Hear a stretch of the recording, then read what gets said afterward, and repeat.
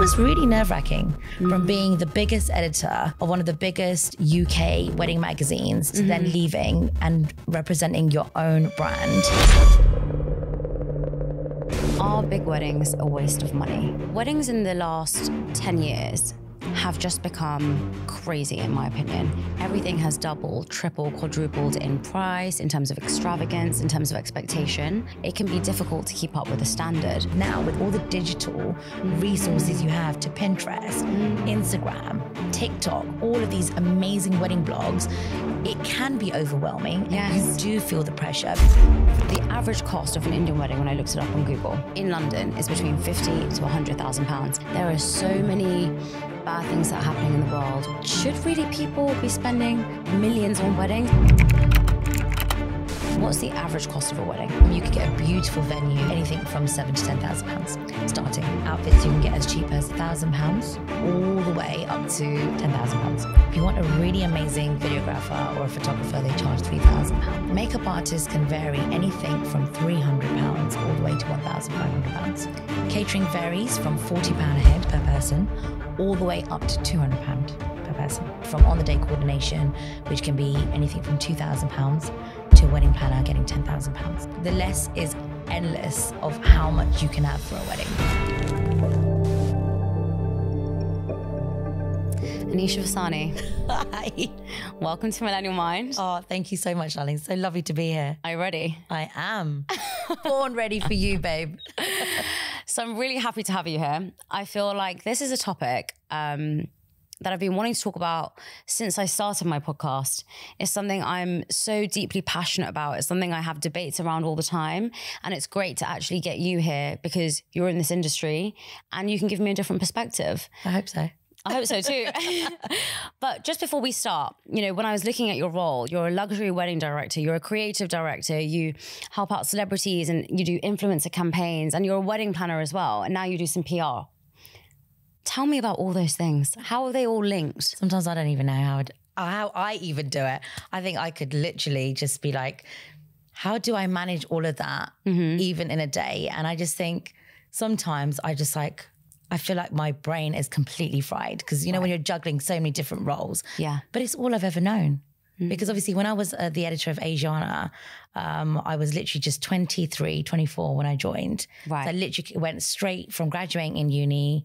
I did a broadcast journalism degree. Right. And then literally was like, okay, I now want to go into the media industry. I wasn't sure whether I wanted to be a, pro- a broadcast presenter um, for reading the news or whether I actually wanted to go into fashion journalism. Okay. And it was only till I worked at the Daily Mirror and was on their fashion desk um, as a junior writer that I realized that actually my passion was to uh, pursue my career in fashion journalism. Wow. And at the time when I did actually leave university, I was offered a job um, at Sunrise's um, sister company, uh, DAB uh, sister radio uh, station called uh, Yarr Radio. So I did a few shows on there. So I used to have my own very own Bollywood show, which was fun. Uh, but then at the same time, went the, to the Sunrise Lifestyle show. Mm-hmm. I met the former editor of Asiana at the time, and actually they were looking for an editorial stylist. Wow. So I thought, okay, great. And they said that you get to work both in the editorial department, um, be a writer, and also then do the styling for the fashion shoots. So it was literally a dream come true to actually get a job at the biggest magazine at the time, right. um, Asiana Magazine and Asiana Wedding. yes. And then literally a year after I was promoted to being the editor. So I was the youngest editor of two consecutive magazines, which was just a dream come true. And there I was trained literally from going from being, and I used to style all my shoots. Right. Um, I used something because I started from a styling background. Mm-hmm. I wanted to actually foresee and be very hands on on my shoots because I think it, that's what makes it special. I think, you know, when you're actually creatively directing it, but you're styling it and you've got the vision, you're bringing the whole mood board to life and working with the models and concepts and traveling the world, you know, and doing beautiful fashion campaigns. But then I was also literally presenting for Asiana TV. So I kind of then got the best of both worlds, was able to use my presenting skills and then do my fashion, sh- like my fashion campaigns. And then my publisher goes, right, um, we'd like for you now to curate the fashion shows. Right. So we want you to creatively direct the fashion shows as well. And So what I does thought- that mean, creatively So- direct? you actually basically coordinate the whole show from start to finish. And Asiana bridal shows were the best bridal show at that time that every bride would come to see once Right. a year annually in you know prestigious venues and hotels in London. Yeah. So it was great for me because I got to really experience a variety of different roles. Mm. I was then networking um, at a lot of events, being invited to a lot of red carpet events. Mm-hmm. And everything I've learned is what I've now put into my own brand and my business. Right. Um, I've worked with so many models, so many celebrities over the years at Right. Asiana. So it just almost everything just kind of flowed really beautifully and naturally for my own brand. Mm. It was really nerve wracking from Mhm. being the biggest editor of one of the biggest UK wedding magazines to then Mhm. leaving and representing your own brand. And, you know, in God's grace, I had a really good rela- relationship with a lot of my clients that, Mhm. you know, I used to work very, very closely with. And they continued to have a relationship with me after I left. And, you know, after there was a whole social media um, revolution and everything kind of just changed because everything went digital. And that was at the pinnacle of my career where I was leaving Asiana. And then brands want to do campaign shoots for their own Instagrams, Right. their own websites. Mm. So it was the perfect timing for the transition. Right. Was I nervous? Was I scared? Of course, because I thought, Yeah. Wow, I've been part of this big brand and, a team. now and a Mhm. team. And that was the hardest part. Mm. I missed working as part of a team. Mm. But now I've been fortunate to form an amazing team and all of the amazing freelancers and the creative team I work with, they're all become amazing associates, but they've now Yeah. also become really good friends. Yeah. So it just kind of all just really fell through naturally. And a lot of people that I used to meet, whether they were industry friends, would say, We want you to plan our wedding. Wow. So the first wedding I planned was for Rishi Rich when he got married. And he said, I'm not getting married unless you're you're gonna plan it. So Wow. that was the first wedding I ever planned. And it went really Amazing. well. And I loved it. So a Mm. lot of the brides would come to me and say, Look, we'd love for you to, you know, everyone in the wedding industry Right. from obviously them being the clients of Yes. you know of yourself at the magazine so it makes sense for you to do it Mhm. and it was a bit of a challenge at first but i think when you do everything with so much grace love and passion deep It in your heart through. nothing feels like work and you know why not whilst i can do it Right. why not why not be able to just achieve your dreams and have different kind of umbrellas of your business because it's Mm. Anisha Vasani creates now creative consultancy Right. and from that creative consultancy, it focuses and specializes in campaign photo shoots, all the way up to bespoke PR, influencer events, Mm. celebrity campaigns, and then private bespoke weddings. So I'll only do very limited bespoke Mm. weddings, but up to like 10 a year. Right. So I won't take on too many weddings, but just ones that I feel, oh, this is a lovely wedding to actually work with. And it's been nice. Amazing. And in all that, with all the different things you do, what's your why?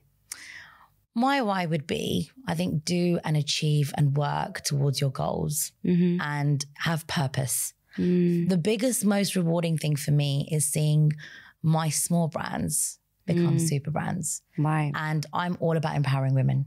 And I really want everyone to take that plunge and not have that fear.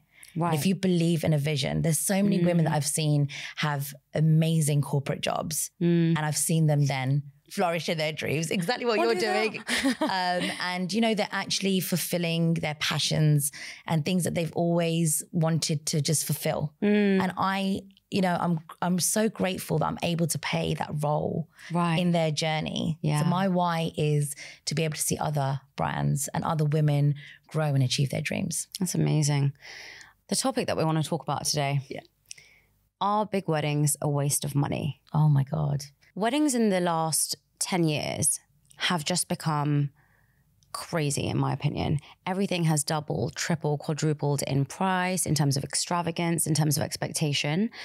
And I think for a lot of women and men, it can be difficult to keep up with the standard. Now, the average cost of an Indian wedding, when I looked it up on Google, in London is between 50 to 100,000 pounds. And I wouldn't even say that's going to get you everything, would you? No.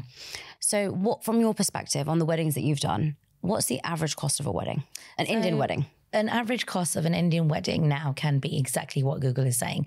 Uh, anything from 50,000, you can have a beautiful, intimate wedding, which a lot of couples are going for, especially after the pandemic. A lot of um, Indian couples, Asian couples are now going for like a civil ceremony and then a beautiful kind of small intimate dinner. Um, or they'll have an intimate reception. Right. And we've seen now that the number of guests have really decreased. Yes. But you'll be surprised. We thought that the spend might also decrease. Right. The spend has actually increased, Increased, yeah. because they want their family and friends that they haven't been able to see. And it was horrible to see brides and grooms go Mm. through that constantly postponing, delaying, changing. It was a really emotional It is. time for a lot of bridal couples to experience that in the pandemic. And I think when they were able to celebrate again, mm. they've just, I think they're so happy to be with their friends and family and finally be able to celebrate their unity and their love, not just as a couple and with, you know, their, you know, families, immediate families, but extended family and friends, mm. that they actually now want to give their guests that experience. Right. And so they're increasing how much they're spending Right. on a wedding per person, but they're just lowering the number of guests that they're going to invite. Because you know, Shivani, it's changed so much from about 20 to 30 years ago, 40 years ago when our parents and our cousins got married in school halls. Yes, with a thousand You know, people. with a thousand people, Mhm. and there was a buffet lunch, and you Mhm. know, we have really come a long way since then. we have. Where everyone's literally getting married in beautiful venues, Yes. hotels, barns, um, destination weddings, and everyone is really curating their wedding because now with all the digital resources you have to Pinterest, Mm. Instagram, TikTok, all of these amazing wedding blogs.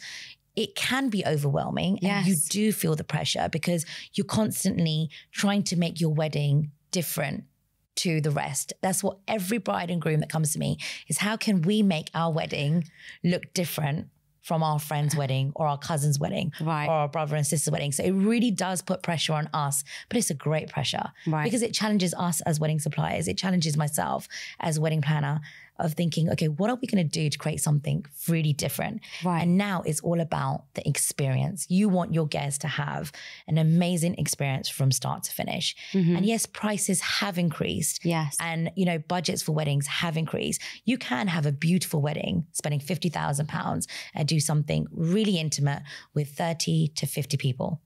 And then there's the the top end of it, where you know weddings can go up to, as you know, Yes. million, two million, three million Yes. pounds, right? Right. Even more. right. Um, and it's all about disposable income. It's Yes. all about each individual's preferences, personal choice, what they can afford, Yes. and what they feel is, you know, something that they want to invest in.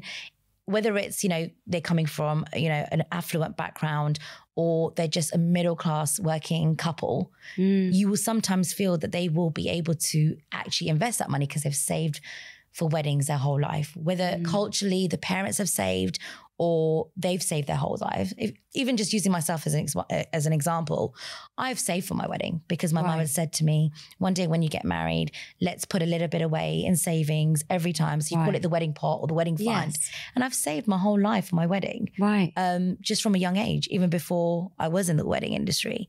And now being in the weddings industry, Yes. there's even more pressure Of course. because when I do get married, of course, you're going to, everyone's going to be like, what is she wearing? Yes. Which makeup artist does she use? What caterer does she use? Where does she get married? Mm. But I think if you make your wedding personal to you Mm. and you have the dream wedding that you desire as a couple, then I think you will have the most magical wedding of your dreams.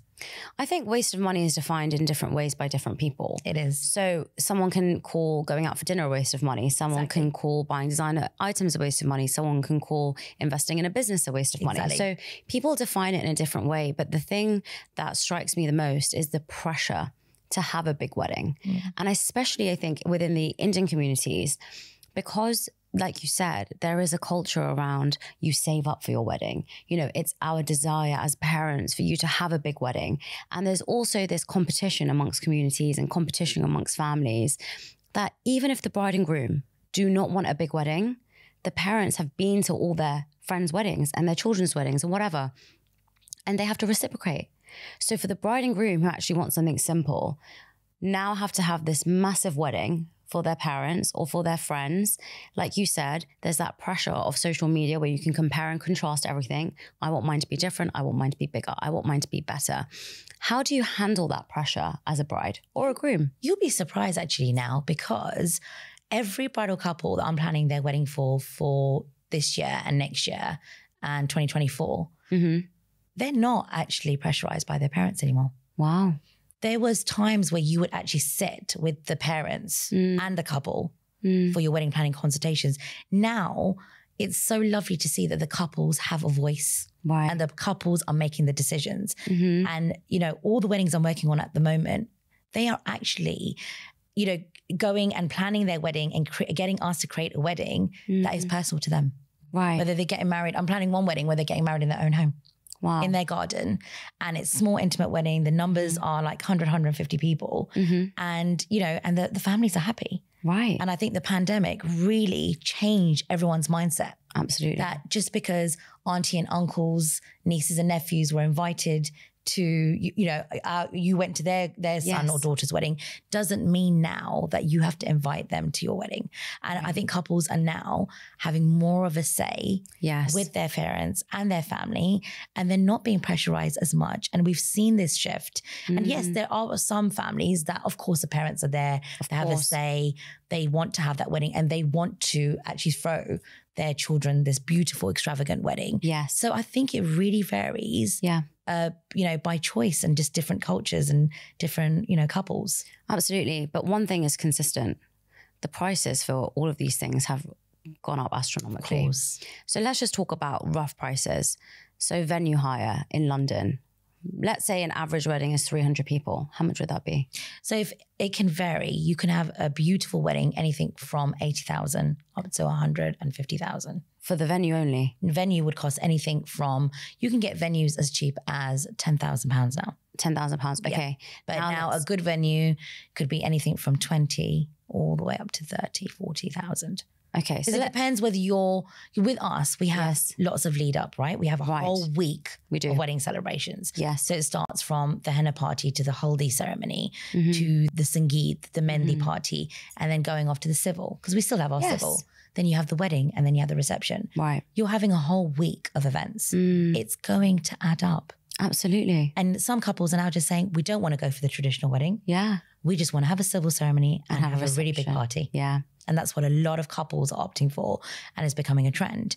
And I think it's about personal preference, like preference. Yes. If you want to have a traditional wedding, I want to have a traditional wedding. Right. I want to have a destination wedding because it's Yes. something that I've dreamt of and I've desired, Right. you know, since I've been a young girl. But I want to have the traditional wedding because one, Mhm. I'm the eldest daughter Mhm. and I want to give that to my parents Right. culturally because I know my brother, who's younger than me, isn't going to want that. He's already said to Yes. mum and dad, everything you want to do, all the fuss, do it with Anisha Yeah. because I'm just going to have a civil ceremony Yeah. and then just a small party. Right. But I think it's all on personal choice. If I didn't want to and I just told my mum and dad, um, it's the opposite. My mum's actually saying to me, have a small wedding. And I'm like, Mm, no. you know what? You guys have waited yeah. your whole life for this moment. So have I. yeah. I want to celebrate. Yeah. I do. But that's my choice. Exactly. And I think it's all about personal preference. So let's go through the prices. So let's look at the minimum. Okay. Yeah. Let's look at the minimum, not the range. What's the minimum cost of a venue in London? A minimum, you could get a beautiful venue for anything from seven to ten thousand pounds starting. What about the outfits for the women and the men? Outfits you can get as cheap as a thousand pounds, all the way up to a designer piece for ten thousand pounds. Okay. Now the cinematography and videography If you want a really amazing videographer or a photographer, they charge three thousand pounds a day. a day. Okay. That includes album, the hours, the editing, right. all that time that goes into obviously producing the last final yes. edits. Of course. Makeup artist. Right. Makeup artists can vary anything from £300 all the way to £1,500. Um, catering. Catering varies from £40 a head per person all the way up to £200 per person. Wow. Anything else I'm missing? Event event coordination on the day. Event coordination. coordination Event can planner. start. It depends because obviously you could come on and work with a couple three months before, Right. or you could be on their whole journey from a year. I'm working on a couple that's getting married in 2023 Wow. and started in 2021. So I've been on a journey my with them God. for two years. Wow. So it varies. It can be from anything from on the day coordination, which can be anything from £2,000 to a wedding planner getting £10,000. Stationary. Stationery varies because it's all dependent on what you want. Right. So, like, you know, menus, invites can anything be like t- from anything from like £10 a head going all the way up to 20, 30 pound a head. You can even get beautiful e invites now. Right. to Exactly. Save costs, Yes. save the date, Exactly. and it hardly costs anything. Any other costs I'm missing? there's transport, Okay. there's cars, Mhm. there's hairstylists, because now you can get a makeup artist And, a, and a hairstylist. okay. You've got your jewelry, Right. Oh yeah. you've got Awesome. all your entertainment, your DJ, your I missed it all, production. didn't I? yeah, performers, dancers. The list is endless of how Mhm. much you can have for a wedding. So, you know, it really, Mhm. really varies. So the average cost you're saying is around hundred thousand pounds. Yeah. And that's for how many people? So you can do that with 100 people, all the way up to 500 people, A thousand pounds per person. literally. My God. But that's for the wedding and the reception. It's two events. We've um all heard Sometimes they even even squeeze in a civil in the daytime. Yeah, I've heard that. Yeah. People do three in one. Now, we've all heard about the MUA scam. A lot of people are looking at that because they're thinking, is my event planner worth it? Is my makeup artist worth it? Is my hair person worth it? Is my caterer worth it? Whatever it is, people start then to question everything in the wedding industry. Now, one thing I find a bit of a problem is that nothing is regulated and there's no clear price on what something is. And a lot of my friends at the moment will call up a DJ get his price. And two days later, they'll call up the DJ's group and they'll give him a different price. And it can feel very overwhelming. Like you said, when you've got all of these pressures of getting married, that people are giving you different quotes and people are trying to take advantage of you because they know that you're in a desperate situation. Now, I want to talk about the MUA scam because it's one of the most recent things that people have been talking about. talking about. And what somebody was saying, um, the whole reason why this MUA scam came out was this girl was saying that when I get married and I book a makeup artist, why is it that I have to pay extra because it's my wedding day? So if I went to Jimmy Choo and I bought a pair of shoes for £500, when I go to Jimmy Choo and tell them I'm getting married, they wouldn't suddenly increase the price to £800. So why do makeup artists take advantage of you? But that is their set prices because it's based on their years of experience Mm-hmm. and their skill set. Right. Now, if you're gonna want to, like you said, you said you're gonna go and go and buy a pair of shoes. Mm. There's a big difference with going and shopping in Primark and Mm-hmm. then going to Jimmy Choo. Right, you're paying for their talent. For sure. They've been, you know, these makeup artists that are charging this much. They have been in the industry for 15, some of them 40 years Mm. in the industry, and you are literally paying for their talent, their skill set. You know, where they've they invest so much money into training themselves and keeping up to their trends and to educating themselves and learning all the skill sets. When they go to learn even from different makeup artists, like Mario, Kim's uh, Yes. makeup artist, how much do you think they all charge? Yeah. They charge extortionate amount. J-Lo's makeup artists, Mm. they are extortionate, but you're paying for the brand. Right. When you're going to go and shop with Chanel, a Mm-hmm. 5,000 pound bag, you're paying for the brand. Mm. These makeup artists are now brands. When you're going to go and get a Sabyasachi outfit or a designer outfit, no one questions the difference between a designer outfit mm-hmm. and a high street designer shop I guess the question is if I'm going for party makeup, why is that different from wedding makeup? because they spend so much longer on your makeup. Right. The so it's about the duration of any makeup artist will spend anything from three to four uh, three to four hours. Right. And it's not, it's literally they are then obviously buying those amazing products. They will have premium products in their kits. right. And you're paying for a premium service. Right. You're they, you know, they're providing hair extensions, Mm. they're providing lashes as extensions. Mm-hmm. They are there literally spending time doing the makeup with you. They're traveling Mm-hmm. to A to B to wherever your destination is. Mm-hmm. And they are doing your makeup draws. They're talking to you about the looks. They're doing the makeup on yourself. They're in- making sure that they're prepping your skin Yeah. before giving you all that advice Right. on your on your makeup like trials that you go to. Mhm. And then they're creating the makeup, creating your hair, styling your hair, and then doing your dressing. Right. So that it's not just about the makeup. And I think that's what everyone's forgetting. Mm-hmm. It's about the entire look. And they're obviously the, the makeup artist is the first person you see other than your Mm-hmm. wedding planner. They're the ones that are holding your hand the whole step of the way, ensuring that your nerves are calm, that you know that. you're literally excited, you know, you're talking about your whole wedding week. Mm-hmm. They are the ones that are going to make you look amazing on your wedding day. And again, it's your personal choice. There are Mm-hmm. Makeup artists out there that charge 300 pounds Right. You can go with them Mm. per event. There's makeup artists that will charge £1,500 Mhm. because they are more experienced. Right. They are a brand within themselves. Mm. And it's their skill set that you're paying for. And I think we need to respect that when a caterer will charge that kind of money, Mhm. it's acceptable. Mm. Like we're saying, if a fashion brand's going to charge that kind of money, it's acceptable. But Mm. why is it not acceptable for a wedding planner or a makeup artist to get paid for what they deserve to get paid? And they've got to make it's their livelihood, Shivani. Everyone Mhm. forgets that they've got to make some profit in it as well. Mm. You It's know, their job. and and and it's a choice.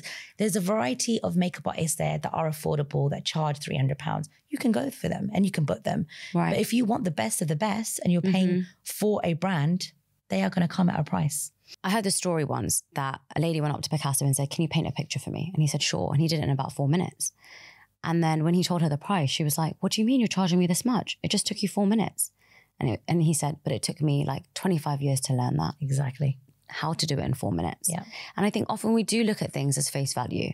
I spoke to Shubhika last week, founder of Papa Don't Preach, and she said, People just look at the outfit for the outfit. You don't think about the design. Process. You don't think about the material. You don't think about how Mm. many people have had to restitch it, relook at it, redesign it. You know, you don't think about the process it goes Mm. through.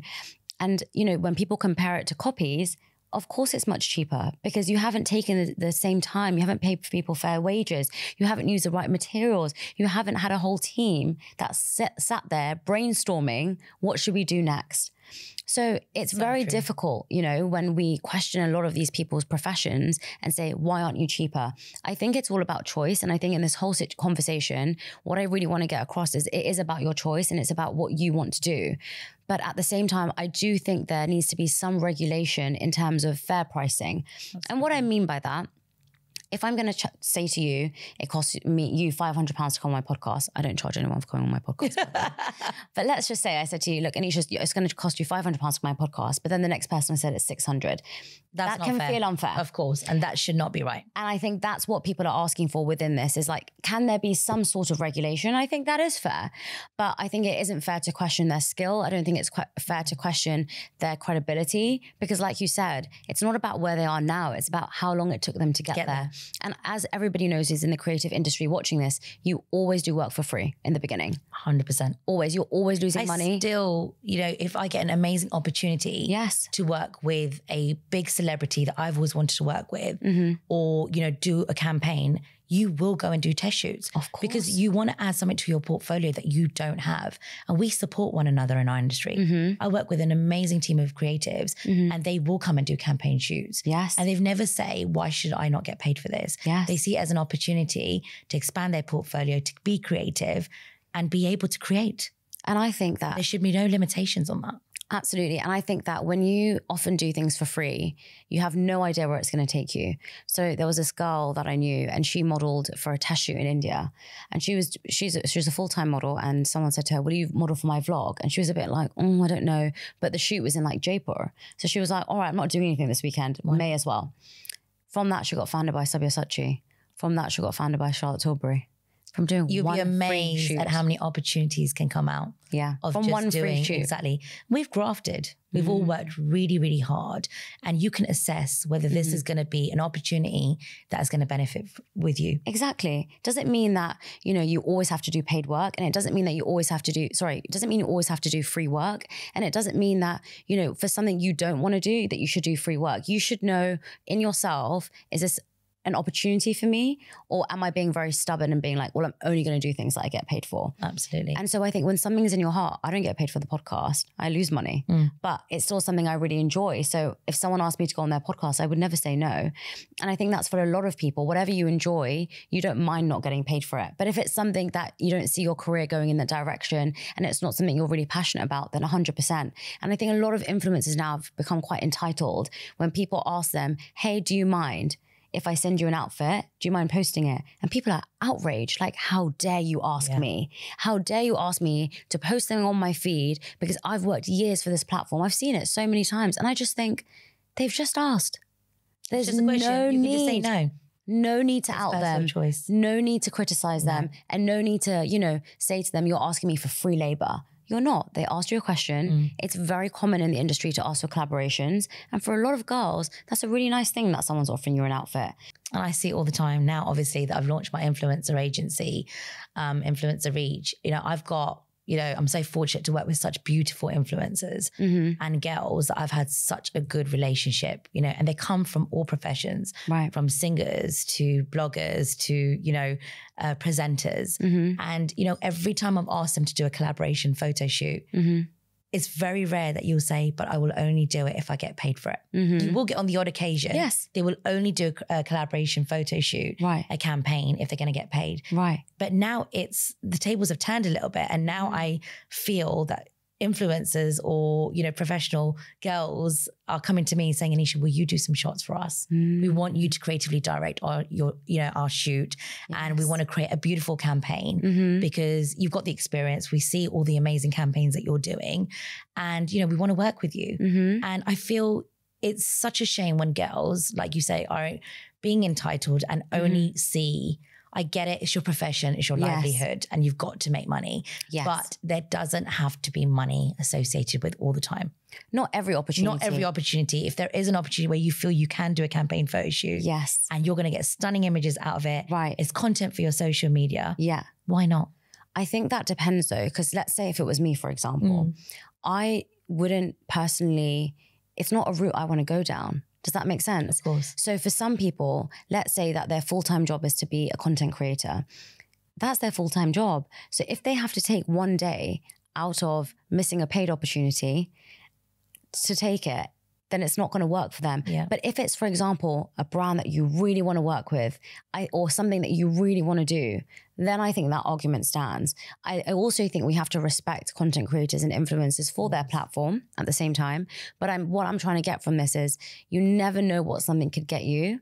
And so if there is an opportunity and you're not doing anything that day and you're not that busy that month, let's say for example, you will see a lot of people saying, Yeah, that month I'm going to collaborate. But on the months I'm really busy, You're not going to. it's very difficult. and they will they will say, like today we've done a beautiful collaboration shoot today Mhm. um, for a presenter and she wanted to some beautiful shots. Yeah. And you know, sometimes, you know, we uh, what I'm very proud that I really do support my girls and I get them Mm. paid work. Mm. I do because there'll be times where I'll go to them and say, I'm going to give you this beautiful product Yes. and I'll invite you to my amazing launch Yes. that I'm doing for this brand. yes. And there's called Gifted. And you Mm. write on Instagram, Gifted, Yes. hashtag Gifted. Yeah. And again, it's your choice. I'll always give them the option. I'll never pressurize any of my influencers or celebrities.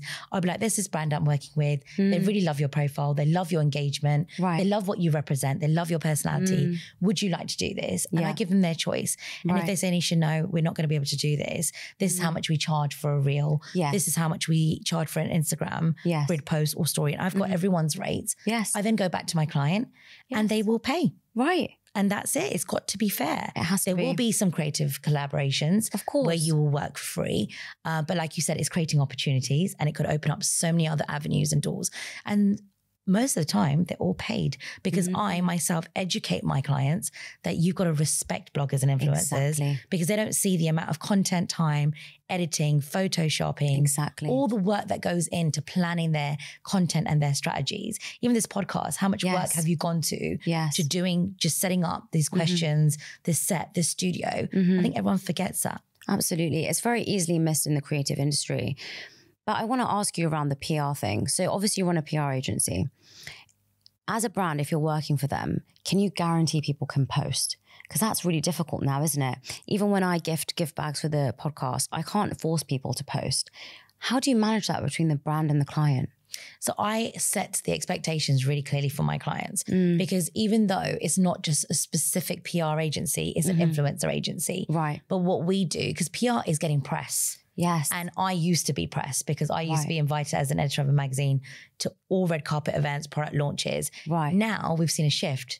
They want press, yeah. but they now want influencers Influencer press. because yeah. they want to reach the influencers' audience and followers Mhm. to get their brand awareness out there. Right. So we manage the client's expectations. Right. We will always present our list and say these are all of our girls that we work with. Right. And we don't just represent Asian girls. We've got Right. Caucasian girls, we've got Afro Caribbean girls, Oriental girls Mhm. from everywhere. Even, you know, some of my influencers are global. Wow. And, you know, they are based from the USA to Dubai to even in Europe, Mm-hmm. and we will send them the list with their insights, a media pack that we then create for all of our influencers. And we will say, these are the ones that we feel Yes. will be best suited for your marketing campaign Right. or your product launch. Mm. And then you can decide. And then I'll Mm-hmm. go out to all my girls and say, would you like to be part of this campaign? Right. Would you like to, you know, attend this event and Mhm. launch? And like you said, if they're available and they like the brand, Mhm. they'll all come. Right. And I did a- an amazing jewelry product launch um, in Mayfair um, on Friday, and all my girls came because the brand was so unique. It was just so diverse. It was an infusion of Asian designs with Western statement, Mm-hmm. and they loved it because it was a different, very unique kind of concept. And they all got a beautiful influencer box, gifted. They posted the revealing of the box. Right. And then afterwards, if we want to take them to the next stage and say, can you create a specific reel Right.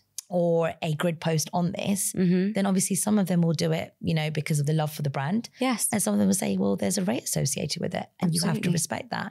So it's about managing expectations of both the influencer, the celebrity, and the talent with your brands. Absolutely. And like we said previously, it's good that we respect people's choices because for, some people it could be a dream come true to work with a brand.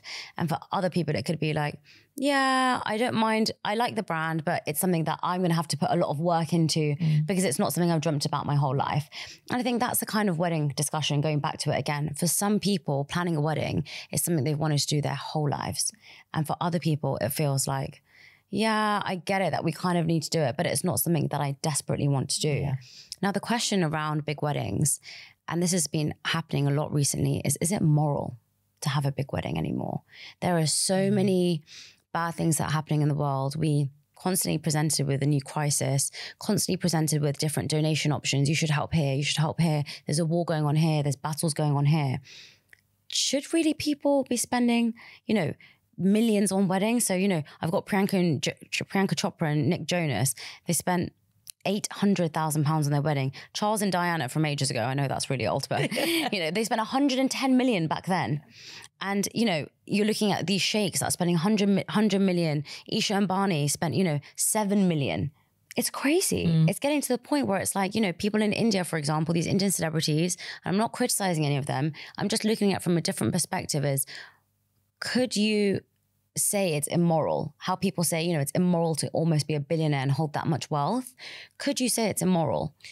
I would just say, and I would flip it, say, is it immoral to go and buy yourself a designer bag when there's so much going on in the world? Right. Is it immoral for you to go and have a fine dining experience in central London for dinner? Right. Is it immoral for you to literally go and have an amazing holiday Yeah. in the Maldives? Yeah. You can look at it in every aspect of your life. Why should it also be defined or changed because of weddings? Mm. No one, I think every girl um, at home has a designer bag Everyone. or works hard. I know I did. yes. My first wage when I was working in retail in Harrods, I saved up my money Mm. to go and spend it back in Harrods again. you know, and that's the thing that you do because Yeah. you want that designer bag. You Yeah. want those first designer pair of shoes. You Right. want those premium designer makeup products. You know, Right. you want to get your hair done. Absolutely. Why should it define you as a person? I agree? You work hard. Mm. That's your hard earned money that you have, you know, literally saved for. hmm Why then can you not spend that kind of money on a wedding? And it's your choice. I know recently somebody went to a wedding and I think they said they spent four million on it, and everyone was like, you know, they should have given it to charity. And it's like, well, they probably do give ten I percent was just going to of their that. wealth to charity. How do you know that they're Yeah. not giving yeah. to charity Yeah. and they're not doing their seva and they're not doing charity Mm. work and they're not helping? Just because when you're doing charity work, Shivani, you don't have to gloat about it. No. You don't have to, you know, scream from the rooftops that you're doing charity work. Everyone's really humble about it and they Mm. make their donations and they do it quietly. They don't need to literally make noises about it. And it's all about a percentage. So let's say my disposable income was 100 million. If I want to spend 4 million on a wedding, Why not? then that's how much I have as disposable income. Yeah. Because the other 96 million, you don't know what I'm doing with it. Maybe I'm investing, maybe I'm helping small businesses, maybe I'm giving it to charity. And I guess that's what I really wanted to portray on this is whatever your opinion, whether you think big weddings are a waste of money, whether you think that it's immoral, whether you think that we're all pressured to do it, it's really important to understand what you want. And it's really important to understand understand what aligns with you. Absolutely. And not feel no one should be judged Mm. on, you know, what they want for their wedding. If they're going to have a small wedding or a big wedding or a spectacular destination wedding, why should they be judged? I think the reason why people are judged is generally everyone who gets married is really obsessed with their wedding.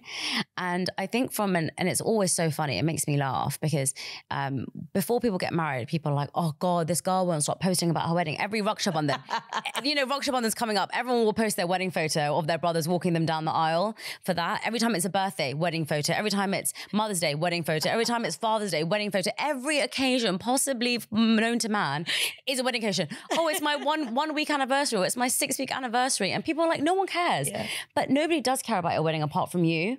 And I think that's the important point. Literally nobody cares. Yeah. You want to have a small wedding, have it. You want to have a big wedding, have it. Stop worrying about what other people, people care think, because they actually don't care. Yeah. So they're going to judge you either way. Either way, whether Whatever you do. wedding or that auntie and uncle wasn't invited or you weren't invited, everyone's going to talk about it anyway. Mm-hmm. And they say they don't care, but they actually do because they want to know everything. They want to know what's going on. And Mm-hmm. if you're not invited to that wedding, you do. Lots of people get really disgruntled. Honestly, invited to that wedding. Were you invited to that wedding?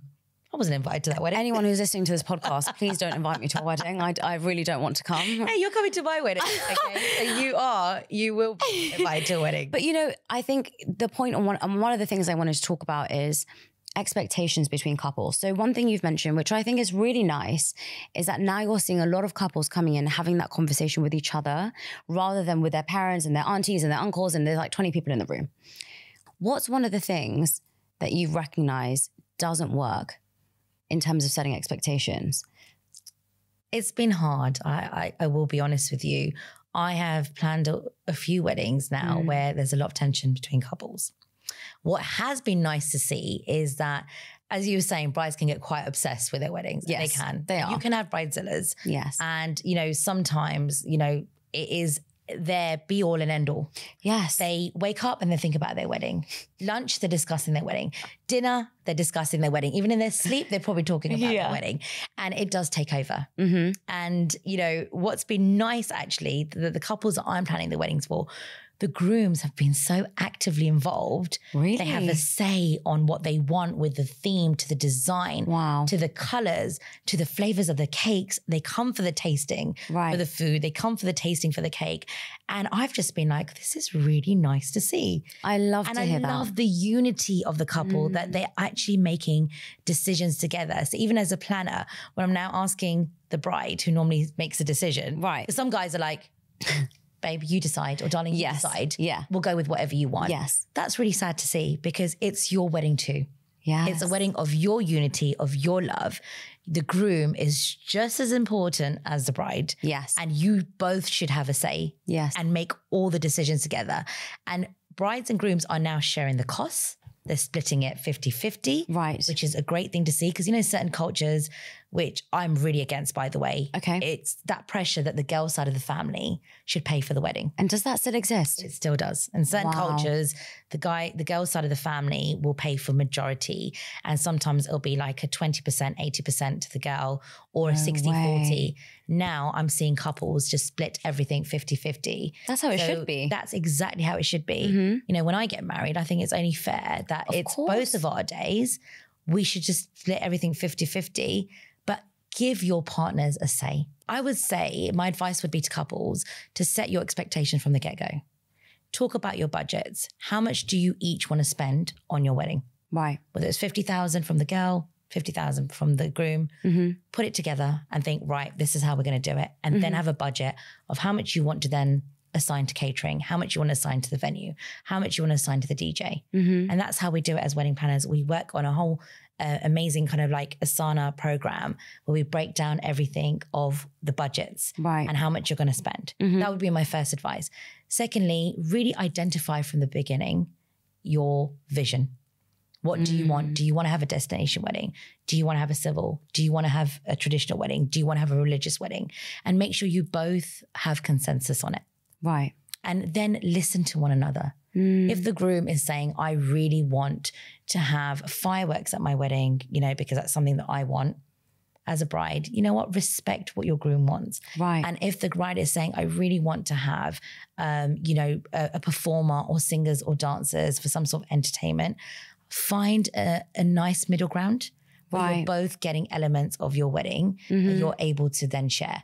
And I would just say to brides, you know what? Really let them have a say. Mm. Where a lot of couples go wrong is the bride takes over hmm and wants to do everything herself.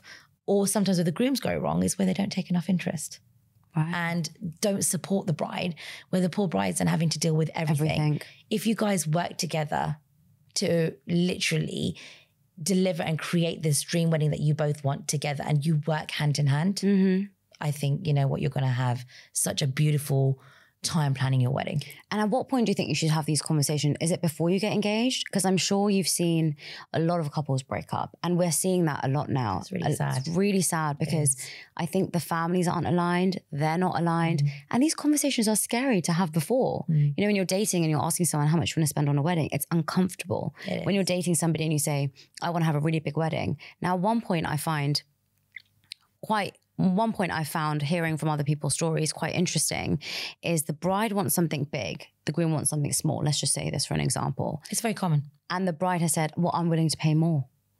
And the groom has said, I don't want you to pay more.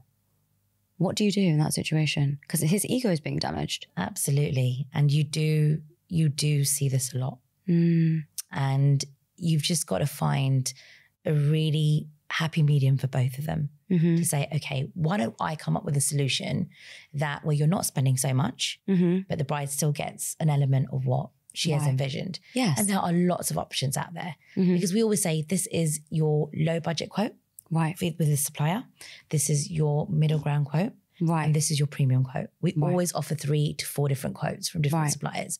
So if you said, I want a DJ, Mhm. I'll give you then three different DJs or four different DJs that work within different budgets. right. And then it's up to you of how much you want to. Some couples will be like, okay, you know what? We haven't exceeded the budget as much as we wanted. So At we'll the end, we've here. got, you know, a little pot still left. Mhm. So we will now go for the the sports car Yeah. or that vintage car right. or the helicopter. right. You know, they will then assess it like that at the end. so they'll pick their premium option Yeah. whatever they want. Where it can sometimes go wrong is when I feel sometimes the family start to interfere. Hmm And I've witnessed that a lot Right. where there's a lot of pressure from the parents hmm and the in laws um, because, you know, they want certain things in their way. Right. And, you know, sometimes as a wedding planner, you're literally In the mediator between the two families. And you've just got to make sometimes the families understand because their way of thinking is sometimes very different Right. from the younger generation. hmm They want the traditional, just say, Indian lunch. Yes. Sometimes the couples are like, well, we don't like Indian food and we don't want an Indian lunch. Wow. And it's about finding that ground. Be like, well, my solution would be, well, we'll have some live cooking stations. hmm So you'll get one station for the Indian cuisine hmm where you can have your traditional food. We'll have a Lebanese live Mm-hmm. station. We'll have an Italian live station. There you go. You've accommodated everybody. Right. That way, both parties are happy, the families are happy. So that's what our role is. There's so much pressure, Shivani, as a wedding planner, I can imagine. because you're literally holding your, their hand, you're consoling them day and night. Mhm. You're on that journey with them for a whole year. Mhm. You go to all the consultations with them from the start with the caterer to their tastings, all the way to their bridal appointments. Mhm. And then when you see them on the day, it's so emotional just to see how happy they are Right. and that they finally Got are there. there to that Mhm. day. And all I advise my couples is enjoy that day. You know Mm. why? You've spent so much money on your wedding. Right. Everyone's enjoying it but yourselves. Yeah. I want you to switch off. I always say to my couples one week or two weeks before, right, no more wedding talk now. Go and enjoy yourself. Go and, you know, check yourself into spa. Go for your bachelorette and hen parties, your stags, and go and enjoy yourselves. Pamper Right. yourselves and now enjoy this moment. Mm. But some people can't switch off. We're all guilty of that. I can't Of switch course. off either. Yeah. I go on holiday and I'm always working. Yeah. But I feel sorry for myself and my partner because I don't know how I'm going to switch off for my wedding. Imagine being a wedding planner, getting married, and then literally, you know, normally when you're on your headset, It's and my be team you. are like, You're going to be in the mandap. going to know from your look that something is out of place. But you know I feel like you're going to be in your mandap with a headset piece in your ear. That's what you're going to be Do you doing. what? There's bets on that at the moment. There's bets on that saying Anisha's just going to have a little earpiece in her ear saying, right, you need to move that cake to the right just by five inches. Um, and lots of brides actually want to go down and Right. check their room even before the wedding started. Wow. They just want to have that peace of mind. I think it's really easy to become really obsessed. And I It think is. that's where a lot of the arguments come from. And does. it's all about understanding a different perspective. And understanding a different perspective takes you to take that personal responsibility to say, I'm wrong in this situation or I understand. But a lot of people change their minds, Anisha. So you have a lot of people before the wedding who say, well, their engagement and they say, I want a small wedding. And they speak to their parents and they speak to their friends and they check their TikTok and they check their Instagram. And then they're like, now I want a big wedding. Yeah. It's really, what's one of the most common things you've seen as to why people are breaking up their engagements? It's literally they're arguing about the smallest trivial things sometimes. But don't you think that? And their personalities, I think, come through because they get stressed out.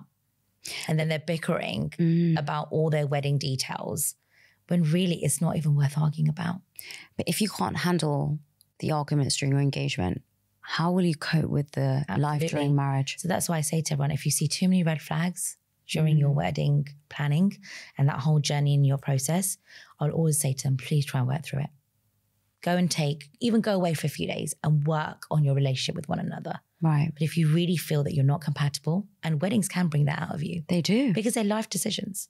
Right. And if you can't handle a decision as like a few decisions in your wedding planning journey, how are you then going to make big life decisions? Mm, Your next stage is going to be buying a house, mm, buying cars, having kids, mhm, deciding the children's education. mhm. You know, you're adapting. There's a lot of pressure on the, the the women as well because you're getting married, you're leaving your family home, you're leaving even sometimes your own personal homes if you live alone, Yes. and you're going to live um, with this whole new family Right. which you may or may not know. Some people know them, um, Yes. you know, for many, many years. You're giving up your surname. You're giving up your whole entire world to go and be with this family.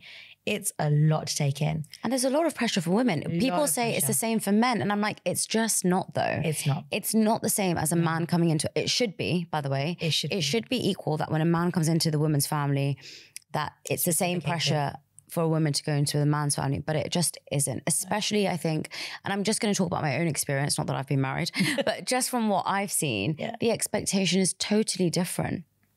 And you challenging back as a man, just as I've talked about in all my podcasts, is completely different from you challenging back as a woman. Absolutely. And the respect element of a man coming into the wo- woman's house will always be from a parent. My daughter's with that man. So I'm going to be 10 times more conscious what I say. Absolutely. Whilst for the woman whose son's getting married and bringing a daughter in, it doesn't make a difference. No. And I think that it's there's such a big difference in terms of that expectations for a woman and for a man. Absolutely. And people still say that there's not. No. There's there's lovely men out there that I've seen that Yes. really make their, you know, their newlywed brides feel so welcome. Mm-hmm. And it's so beautiful to see. Constantly asking, Are you okay? Are you comfortable with this? Is that okay? Um, you know, if anything was said inappropriately or if anything was said out of line, Mm. you know, I will address it. You know, and I've seen that. And then I've seen the complete contrast where it's just so dismissive. Oh, but they didn't mean that. But you know, they just want the best. And, you know, we've just got to accept it. We've just got to go with the flow. And you do see that a lot. And that's where you start to see the cracks in the relationship a little Yes. bit. And it puts us in such a hard position because you see so much. And, you know, your brides become your friends. Mm. And at what point do you intervene and advise them? It, there is that, you've got to know where to draw the line sometimes. But it's all about your relationship with the bride. Right. Sometimes you can become so close that they really confide in you and they lean on you because they've got no one else to talk to. Because they can't talk They to don't their want to talk to their friends because they, they Friends feel their friends will judge yeah. and they will judge the partner. Yeah. Mhm. They can't talk to their parents because the parents will be like, Leave him then. You're, they'll you always be on your you side. don't need to do this. Yes. It's fine. We can call off the wedding. 100%. Done. It's done. Don't worry about it. And sometimes they lean on you and they just need to to release and they need to let it, you know, vent it out. And then you know what? They sleep on it. They go home and they say, you know what? It's another day and he's changed. And like you said, if they acknowledge where they go wrong, yes. Don't be afraid or have the fear of apologizing when you're in the wrong. But that's with everything. With everything. Your relationships with your friends, to your Mhm. relationships with your siblings, to your parents. When you are in the wrong and you've been disrespectful, you've crossed the line, yes. And we've all done it. just apologize. But the difference is It when you apologize, it goes a long way. And I think real character shows that when you apologize and somebody still criticizes you, Yeah. but you've apologized, then there is really nothing you can do. No. if you have apologized and you've admitted your fault, not if you've been They can't let defensive, it go. And if they can't let it go, and they haven't seen your And that perspective, onus is on them. then it's on them. Exactly. And I think that's what's really interesting. And you've said is that you see, you know, you you understand. People have to understand that you can't always tell your parents everything because your parents will always support you. They will never support the other person mm-hmm. as much as they love them. yeah. You know, some parents give a different perspective, and my parents were always people that would always be like, "No, you're in the wrong, Shivani." Same. You know, I was just gonna say my parents All the time. Say, but what did you do? yeah. What did you, do? must have said something. exactly. You must have done something Exactly. in order for that person to react that way. yes, But that is when you know that your parents have raised you in a really good way, and they're rational. and they're not deny. They're not in denial. Yes. And like you said, they're rational. Yes. They're balancing both sides. And I respect my parents So so much for doing that because whenever I tell them something, they'll say, We understand you're upset, but okay, let's look at about it from a different, different perspective. Yeah. Always, they'll never just say, Shivani, you're right. And we agree with you 100%. Yeah. At the end of the day, I know that they will always have my back. But I really respect people giving me a different opinion on something. And I think that's a really important point to realize. And what we've raised in this podcast your makeup artist is that person on the day with you when you're panicking, when you have cold feet, when you're nervous, when you're feeling sick, that comforts you. Your wedding planner is almost like your therapist that's holding your hand. And that person there that isn't going to be biased and they have no, they don't know you really. So they don't have all this, you know, Emotional wh- attachment. Exactly, an emotional baggage. I tell my mum something that I've been upset about something. I tell her on the wedding day, she's going to be like, You've been going through this for a year and a half. You've been doing this for four years. You can't be in this anymore. I tell you, and you'll be like, It's okay. It's a small thing. yeah. Don't look too much into it. Exactly. Totally different. And I think that's what I really wanted to bring out in this podcast. Everyone has a different purpose. It's not just what is said on the tin. No. And, you know, whether you want to have a big wedding, whether you want to have a small wedding, it's your choice. And you should do what is within yourself to do it. Yeah. Don't do it for other people because then you yourself will feel that kind of guilt or that uncertainty or that insecurity of, I don't want this. But, you know, whether it's a big wedding, whether it's a small wedding, go for it. Just don't post on every Raksha Bandhan. Happy birthday, Father's Day, Mother's Day about your wedding because honestly, it's a bit much. Don't do an overflow of social media posts because Yeah, it it's- it's it a can be a lot. Yeah. Especially for your lovely single friends Yes, who are like exactly. waiting for their like literally for their Prince Charming to come along and Or like, even if not." deal with another Yeah. another wedding post again. Yeah, you know, some people do get really affected by it. I mean, I. I don't really care. But I know some of my friends that have actually felt that, you know, I feel really upset that all my friends are getting engaged. And I think because I've never, from a personal perspective, I've never dreamt of a wedding. I'm not that girl who's like, I can't wait for my dream day. I've dreamt of having a dream house and I've dreamt of having a family. So I think when I have kids, I'm going to be one of those really annoying moms that post about their kids about all kids. the time. I'm definitely going to do it. And just, you know what? Unfollow me now if you don't want to see it. But They'll be like, Shivani, can you please posting about your kids every five Look how minutes? cute they are. I do it about my niece and nephew. I actually got told last year, "Do you have kids?" They actually, I got invited to a PR event with with my niece because they were like, "Bring your daughter." I was like, "Oh, she's she's actually my niece." What a compliment. I get told the same thing when I take my like Yeah. loads of pictures of my goddaughter and my godson. Right. Oh, I thought you were married and I thought you have kids. No, not married. Happily single Yeah. and content. But you know, it's really for some people it can really affect them and it can really bug them. And you know, if you are getting married and you do have a single friend, maybe just take that into consideration of not constantly talking about it. Hey, we've all been there. Imagine. I'm in the wedding industry and everyone's like, oh, so when's when's your dream day? And you know, when are you getting married? Um, you don't go asking people that all the time. And I get asked that all the time. And it's not coming from a bad place. No, it's not. You know, they just want to know, you know, when is it going to be your time? You've seen Yes. so many of us get married. You've, you know, done the most amazing wedding campaigns. yes. You dress brides day in, day out. You style them. You plan their weddings. yes. When is it going to be your time? And I just say when the timing is right. But But you know- used to affect me, Shivani, a lot.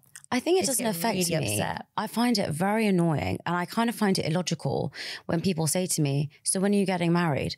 How am I meant to know?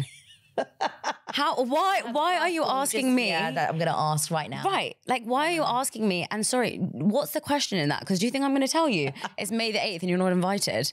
If you wanted to be asked, if, if you wanted to know when I was getting married, if you were if you were going to find out, you'd have found out. But if I'm single, if I'm in a relationship, or if I'm engaged, don't ask the question because if I'm engaged and you haven't got the invite, you're not going to be invited. and if I'm single, do not ask me when I'm getting married because I'm not going to ask you, you know, when you're getting divorced. It's not a question you ask somebody. It's actually, I understand, it's not, you know, asking somebody when they're getting married is never coming from a bad place. No. But the girl doesn't know. Don't know. I When don't when know. I know, I'll tell you. I'll call Yeah. you. I'll send you a memo. I'll let you know. But you know, at the I just find it so funny when you go to an Indian wedding, and this isn't one for the aunties. When you go to an Indian wedding and you're with a girl, you have to understand that despite how strong whatever they are, at some point in their life they have felt pressured.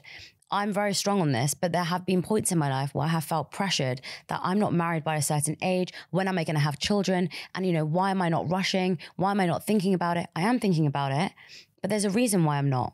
And that's my choice. And it's not up to you to question it. It's not up to you to ask me why I'm not, because not in my situation, but some girls are really going through it. And I met somebody the other day and she was in her 30s and she said, I'm marrying this guy. I've been with him for 12 years. And I said, Oh, wow. I thought you have just recently met him. And she said, We had a lot of stuff to work through. And I thought that's so powerful. So much because so many she, and she said so many people came up to me and said, You've been going out for too long and you know, you've been you guys have been like relaxing and you haven't been thinking about it. And she was like, I wanted to work things out, but I didn't want to start my marriage off in a bad foot. So I had to take those years to change myself and he had to The take those years to change did. himself. And if you go up to someone and ask them why they're not married and they're going through something, it's only going to make them question it more and it's only going to make them feel worse. So just avoid asking the question. Yeah, I think everyone just needs to really think when you ask that question. What is that person going through? hmm Do you think that person doesn't want to be married? Right. Does anybody? Okay, some people do want to spend their Yes. life alone, and that's their choice. Yeah. Just the way some people don't want to have children. Yes. That's completely their choice. and they want to live alone. And again, it's all on personal preferences Mhm. and personal choices. But you know, next time you do ask someone that question, really think about Why? what are they going through mentally, and why are you asking it? And why are you asking it? Don't you Mm. think they have got that desire to want to get Exactly. married? Don't you think every woman or girl dreams of having their dream partner or companionship, whether they want to get married to or not? Yes. And you know, we've all been in relationships. We're all trying. We're trying Yes. to date. It Right. just hasn't worked out. exactly. And I'd rather be sure now than get married and it end in tears or go through that Exactly. divorce. I'd rather take that 12 years or those Same. 10 years to be with someone Mhm. and know that this is the man that I want to spend the rest of my life with without any doubts and without any questions or any red flags Exactly. and be happy. And, you know, and there's nothing wrong with that. And I'm so grateful that my Mhm. parents, of course, there used to be that pressure initially that yes. your younger cousins got married Yes. That that you know that family's got married. Oh my god that cousin of Mhm. yours has just had a baby. Yes. and you used to really feel the pressure saying you know why? It's because you work too much. Hmm you are too focused on your career. Yes. and that's why you're not getting married. Hmm and you are too um you know you're too career focused. You're too confident. Hmm you're too you know you, you're, you're too empowering Yes. that people feel like you know you're going to be quite intimidating in a relationship but someone won't feel And that any of really- those things. And one day when that guy comes along, Yeah. he's going to love you for all, all of those things. reasons. Yeah. He's going to love So that you're successful. He's going to love that you're confident. He's going to love that you're empowering. And he's and going to be that right guy that's not going to be Mm. insecure and is going to embrace you as a successful woman. Hundred percent. Um, and I think that's the kind of partner that you need. And when you meet that partner, you'll realize why it didn't work out with all those other guys. Oh, I completely agree. and that's the difference. Mm. So wait as long as you need to. yes, my parents are not pressurizing me anymore because they want me to be happy exactly. rather than come back divorced or Exactly. broken. Um, they'd rather say, you know what, you just wait. We're not pressurizing you. You just make sure you're happy. And I've got no regrets. Mm. I've had the best 15 years of my career. hmm And now when I do get married and have children, hmm I can look back and think I had the best 15 years of my life, building my brand Mm. and working towards my dreams and my goals. And marriage isn't the only goal, and marriage isn't the only dream, and it's not the only definition Exactly. of being happy. Whenever you are somebody, you know, but don't you want to find somebody and be happy?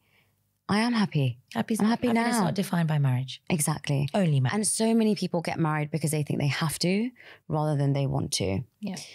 But with, contentment, like you said, buy your house. Yes, That's an asset. That's an achievement. That's whatever makes you happy. Yes. travel the world. Yes. Go and learn new things, new Mhm. habit, like new hobbies. Do things that are going to make you happy. Mm. Don't be pressurized by society So on, you know, what is the right age to get married? Who says that you've got to get married before 30? Who says that you can't have a child after 40? Mm. Who makes this? Yes, it can be challenging and Yes. difficult. Mhm. Fine, we know that because obviously that's science and, you know, that's all to do with, you know, the human body and everything. But who defines and who makes these decisions? Exactly. Do it when it's right for you. I agree. And, you know, I've had a really great time talking to you today. too. I think we've really explored so many of the contentious issues that people have been talking about and given a different perspective, which is what I really wanted to do. But we close with a different tradition now. Oh, I love it. And it's a truth or dare. Okay. Give me a truth. When was the last time you cried? Oh, wow. Do you know what? I think the last two years were really, really hard for me. They were a real struggle. Um, the fact that I can't even remember is a good thing. Yeah. I feel I've really evolved as a, a person. Mhm. I really like worked my way through, Mhm. become really spiritual, really strong, and I'm really happy and content. I think the last time I probably cried was when my godfather was taken into hospital recently, Mm, and it was really touch and go. mm, And I didn't, we didn't know whether he was going to make it or not.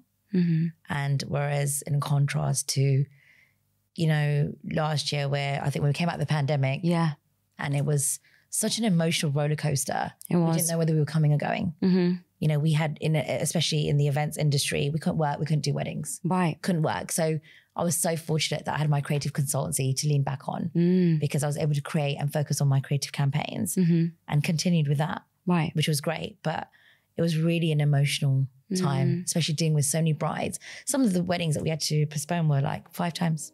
Wow.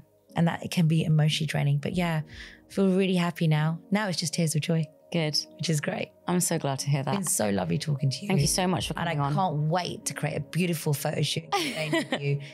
You're just a beauty. Thank you so much. I really appreciate you coming on and discussing such a challenging topic with me. I loved it. Thank you so much. It's never a challenge. And not especially when it's with a girl like you. Thanks so much. Hey everyone, and thank you so much for listening to this podcast. Wherever you're listening or watching, if you could press the like, follow, and subscribe button, it would mean the world to me.